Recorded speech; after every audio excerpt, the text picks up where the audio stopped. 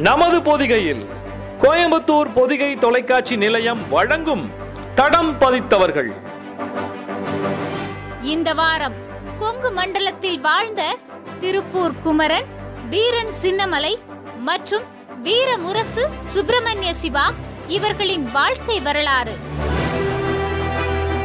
நான்கு பத்து இரண்டாயிரத்தி இருபது ஞாயிற்றுக்கிழமை பிற்பகல் ஒரு மணிக்கு. காணத் தவறாதீர்கள். தடம் பதித்தவர்கள்.